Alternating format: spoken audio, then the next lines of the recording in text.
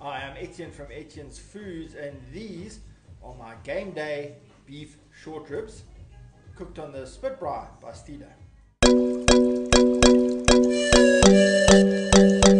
Okay, so it's rugby time, or soccer time, or whatever sport you're into, and it's game day, and you want to chill, and you want to have a braai, and you want to enjoy the game, and there's nothing better than cooking something nice on the braai. So what we going to do? We're going to do something on the spit braai by Steelle. We're going to do an Argentinian style short rib. Let it go.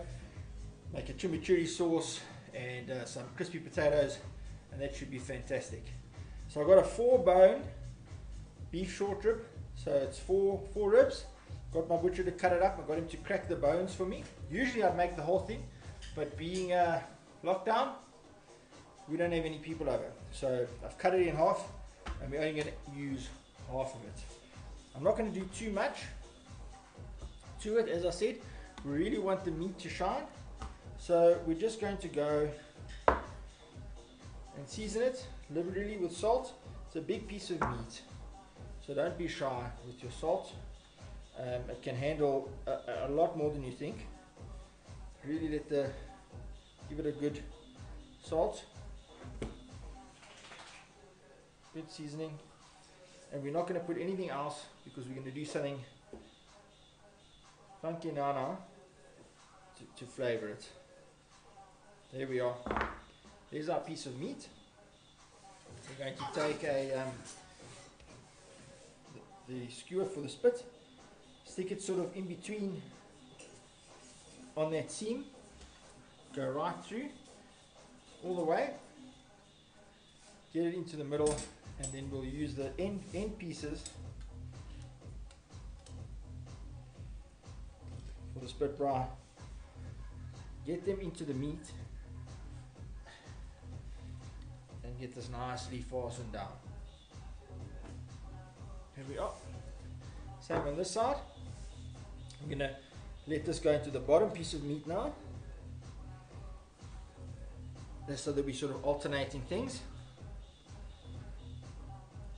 it gets stuck in there. Here we are. And then we will fasten that up nicely. And there it is. Ready to go on the spit we'll be back now. Okay so this is live and real. And I forgot to truss it. Well we're just going to tie because there's different pieces of meat with sinew in between and bones. We're just going to tie the uh, tie the meat up Okay, make a little butcher's knot. Rabbit goes around the tree twice and then down the hole.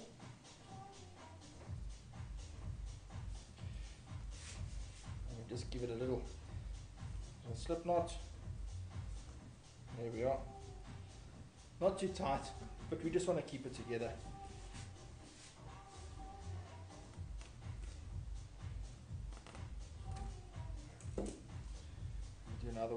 This side.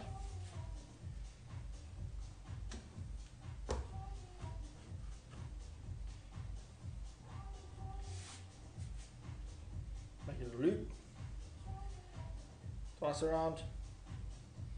Sure it goes. And then just tighten it. Good old butcher's knot. There we have it.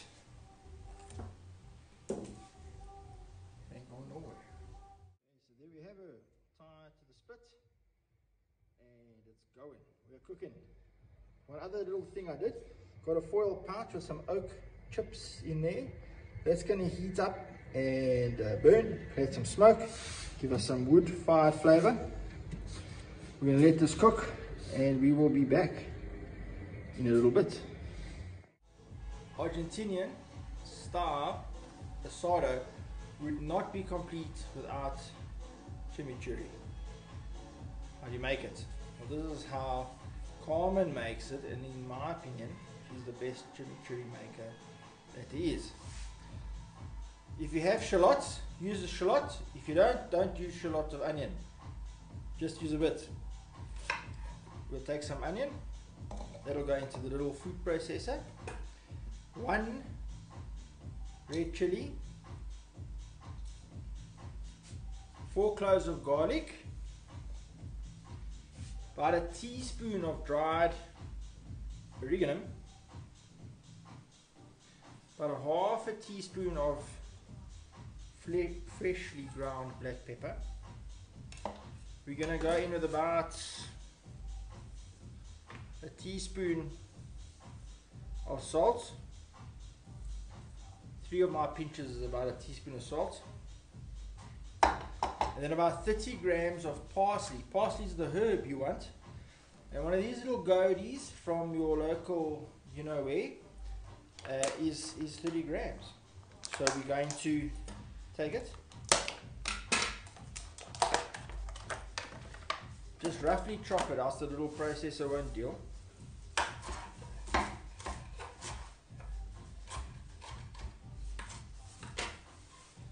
This one was pre-rinsed. There.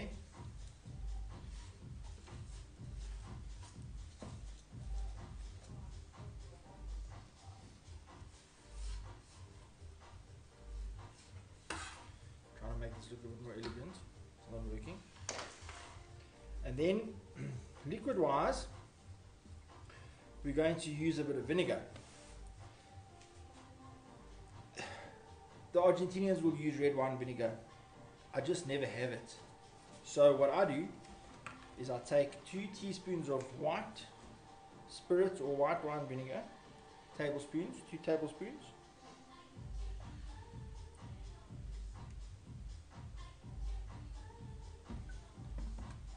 And then one tablespoon of balsamic vinegar.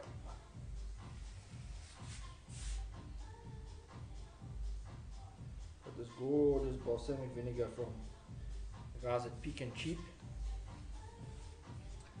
Oak matured balsamic. It's fantastic. And then it gets a whole two thirds of a cup of extra virgin olive oil, but don't put it in here. The reason is simple. The manufacturers of the olive oil have gone through a lot of effort to make it cold pressed so that you get all the goodness and the flavor. You put it in here, it's going to heat up, it's going to cook. What's the point? So um, we're going to go in, blitz this up. You don't want to make a paste. You just want it to be uh, finely minced. So you can do this by hand if you want to.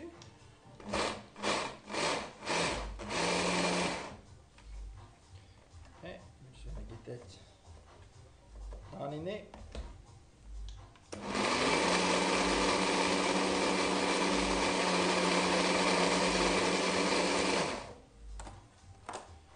There we are. That looks amazing.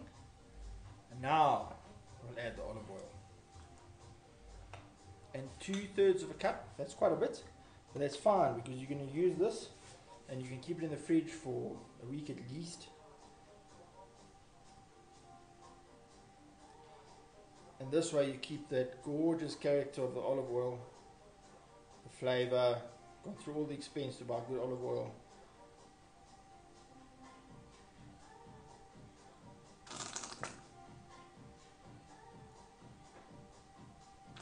Just going to use that much. I didn't really measure it. And there is our chimichurri.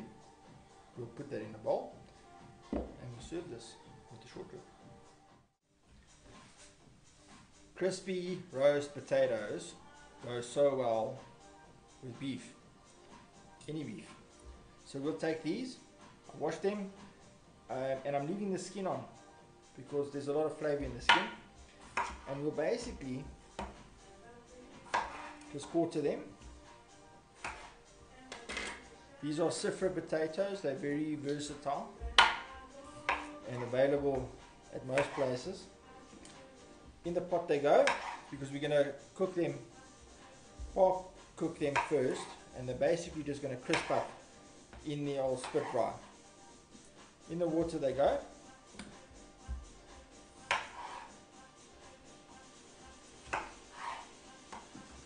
Need to add a bit more water in here. There we go. Good pinch of salt. And we'll stick that on the stove for about 20 minutes so they're cooked. Let them cook properly, and then we'll throw them in the vegetable tray of the Steelle spit braai.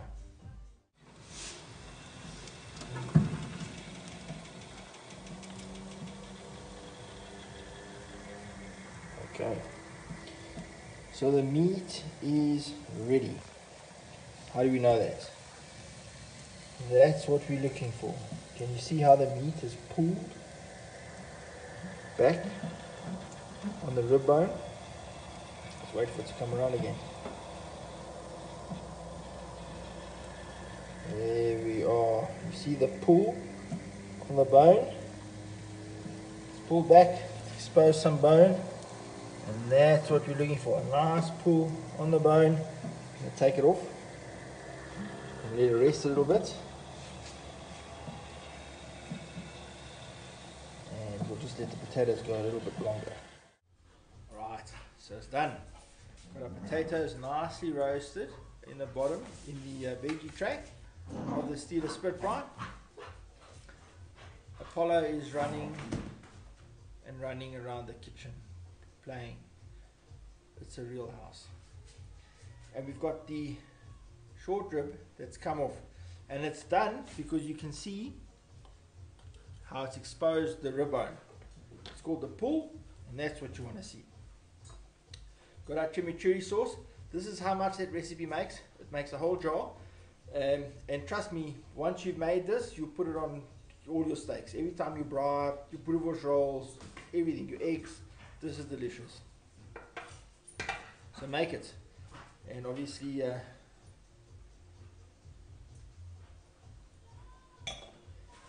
so the big reveal.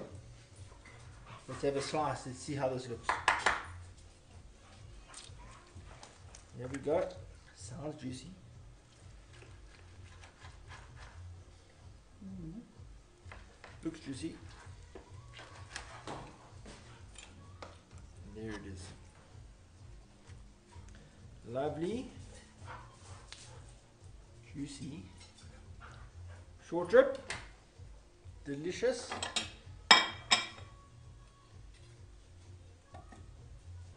Ready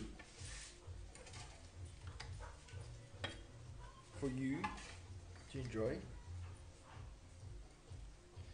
while or after you watch the rugby whatever it is you're into. Drizzle some sauce over that. The sauce is delicious. They might not know how to play rugby, but they can make sauce, the Argentinians. Sorry guys, just a joke. Try this. My game day Argentinian style short ribs, crispy potatoes and chimichurri. So there's only one thing left to do. I almost forgot. And that's the taste test.